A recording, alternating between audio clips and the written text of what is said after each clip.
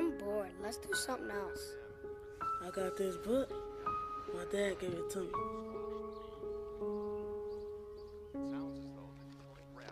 Ah, servus, hallo zu einer neuen Folge aus der Sudküche. Wir sind heute wieder am Evo und heute ist ein richtig geiler da. Also wir haben Sonnenschein, es regnet nicht, die Temperaturen sind angenehm, aber, ne, wer es gerade eben bemerkt, wird gerade feststellen, dass ich die Garage rauslaufe und im Hintergrund kein Evo steht. Ist nicht da. Ist nicht da. Stell mal die Kamera rum. Ich muss euch das zeigen. Aber wohlgemerkt. So, jetzt gehen wir mal zurück. So, hier steht er. Wohlgemerkt, hinten sind noch keine Dämpfer drin. Das heißt, er tut hinten komplett ausheben bis zum geht nämlich. Da müssen noch die Dämpfer drin, dass er nicht so hoch kommt. Vorne geht normal noch ein bisschen mehr. Aber der Druck verteilt sich jetzt, weil ich komplett Endleitung habe, die aufs ganze Auto geht. Ne? So, ich mache jetzt meine Kamera daher. So, das können wir so lassen. Heben wir nur mal kurz an, ob er hoch geht, das Stückchen. Ah, nur ein bisschen hin. So. Hin ist er ein bisschen platt. Aber jetzt gehe ich hier und lassen wir ab. Jetzt kommt der Moment. So.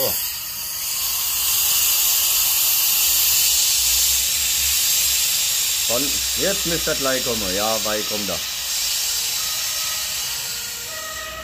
Ja, und schon kommt die Polizei. Viel zu tief, Herr Wachtmeister, Hauptkommissar. So, na, da geht noch was. Ah, da geht noch was. Jetzt kommt er gerade runter. Ja, warte. Warte, da kommt noch was, da geht noch was. Ich glaube, der leitet vom Holzklötz hier auf.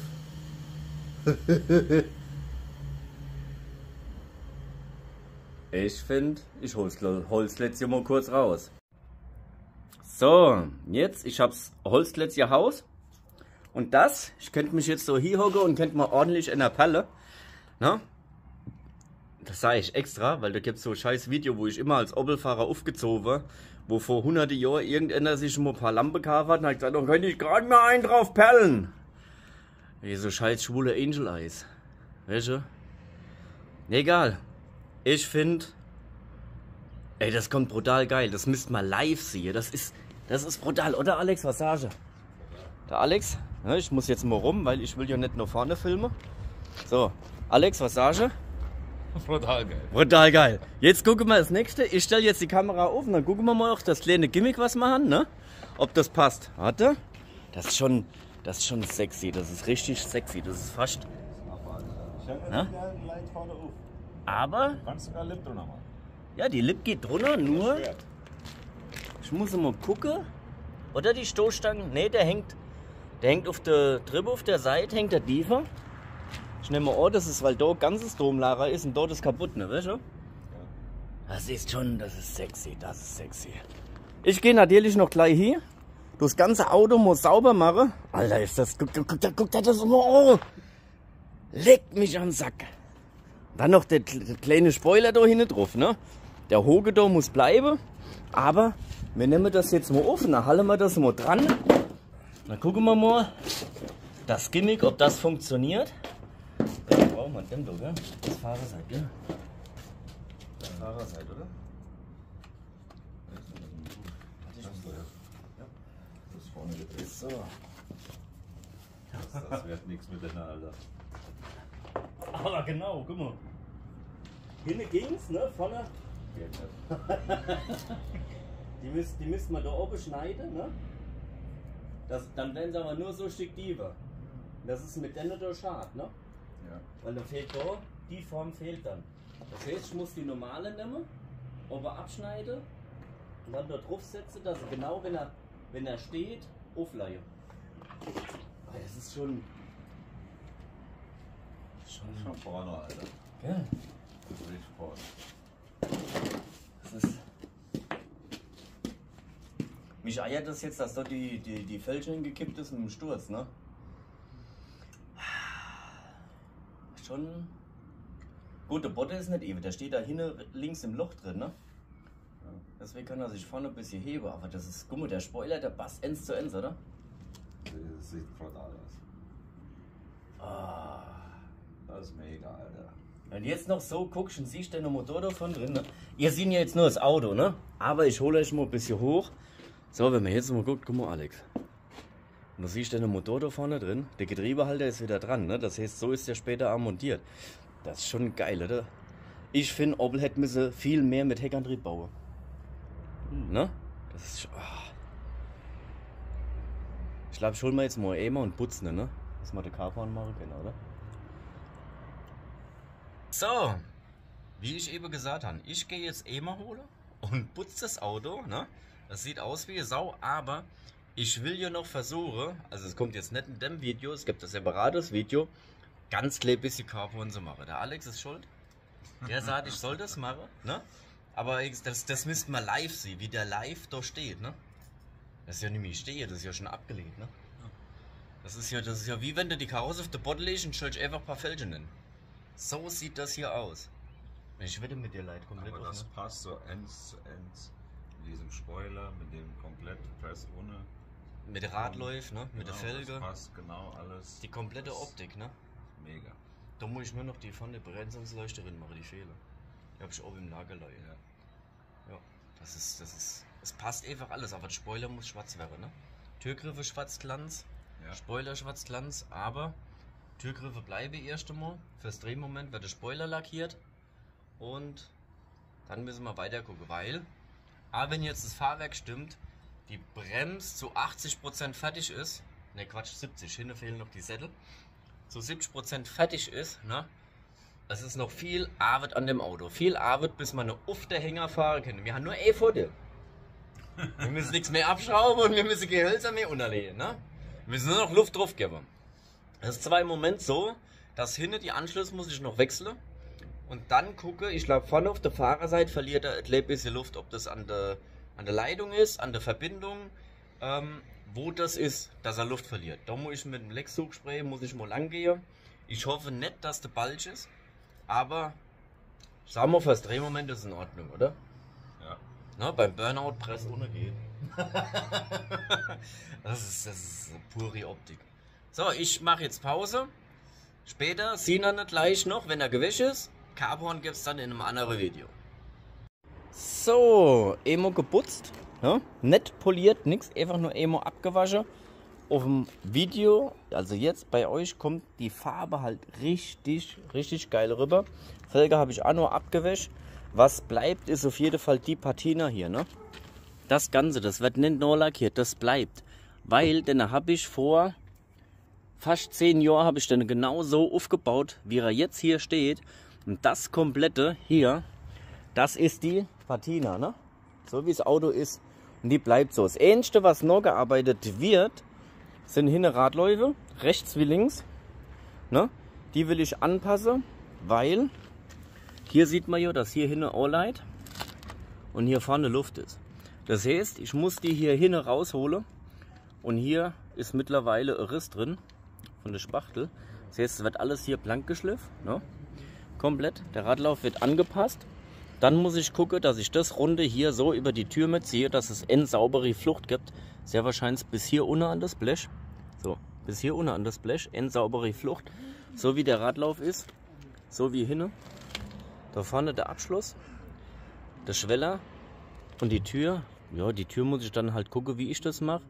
Wichtig ist mir halt, dass ich die Patina vom Auto nicht kaputt mache. Das heißt, wenn ich Snow lackiere, hier das zwar nicht so ausgeblichen sind wie das, aber es wird der gleiche Farbton sein. Da muss ich mal gucken, wie man das macht, dass der ausgeblichen ist. Ne? Weil hier sieht man so, kleiner Ticket dunkler ist er dann. Ne? Aber sehen wir den Unterschied? So, der Rest vom Auto bleibt exakt so, wie es ist. Genauso hier. Die Patina, die komplett, die bleibt. Ne? Hier kommt ja die Leicht drin, die ich noch abgeschnitten habe.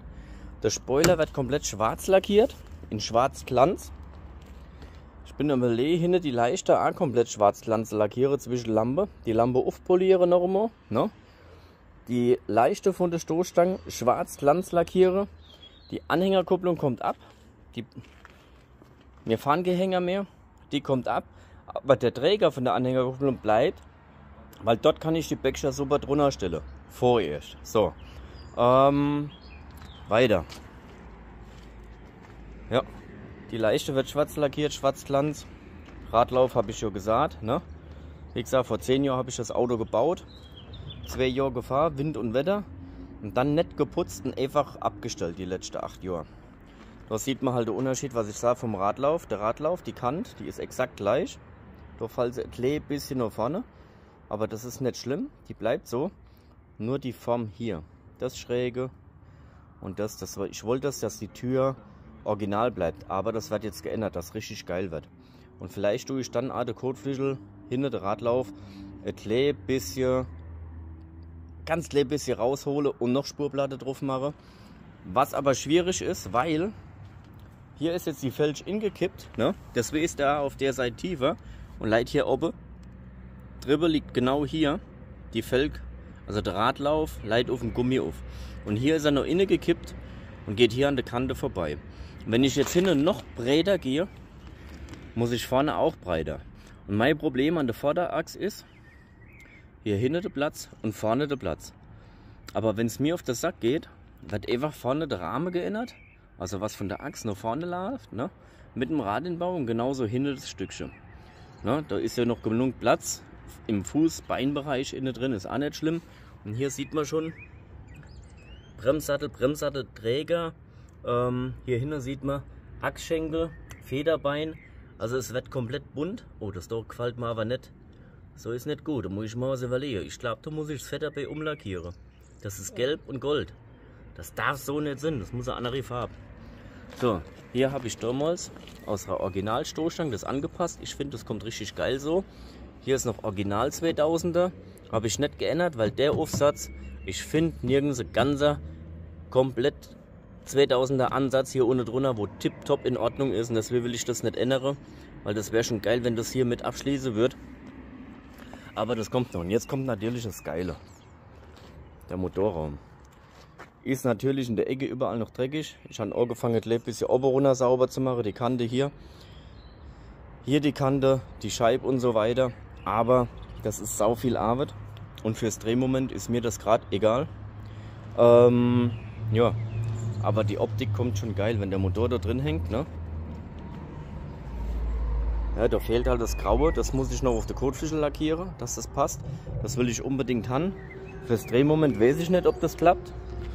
Aber hier sieht man es besser, die Farbgestaltung. Also mit dem Tarnmuster.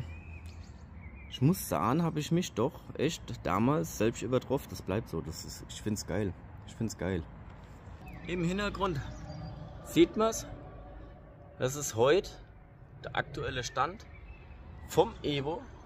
Ich finde, ich, ich kann es nur tausendmal noch sagen, Opel Hetzelle Heckantrieb weiterbaue. Das sieht so geil aus, wenn der Motor längs in den Autos drin ist, aber ja. Das war's von heute mit dem Evo. Ähm, noch dem Vater da geht's weiter. Dann geht's an die Bremsanlage. Da muss ich gucken, dass ich alles beisammen habe. Ich glaube, vorher gehe ich hier und du die Kühlerhalterung baue die Wasserschläuche alles mache, weil dann haben wir theoretisch, dass er da Burnout machen kann, nur noch der Auspuff, kadern will und Bremsanlage. So. Hm. Bremsanlagen muss ich gucken, habe ich alles da. Bremsbeleg vorne müssen rein, die, der zweite Bremssattel muss noch lackiert werden, ähm, gepulvert werden, dann kommt der rein mit neuen Bremsschläuchen, dann müssen die Bremsleitungen noch hingezogen werden, angeschlossen werden, dann geht es noch hin. Ähm, dann muss ich hingucken, brauche ich noch ein zweiter 35er Sattel vom Kaliber. Ähm, das muss ich noch gucken, wo ich ihn habe. Ich habe ihn nicht gefunden. Ähm, oder wo ich ihn herkriege. Ja, was noch zu machen? Keine Ahnung. Das war's von heute. Wenn es euch gefallen hat, das Teile, Like, Abonnieren nicht vergessen und wir sehen uns im nächsten Video. Bis dahin.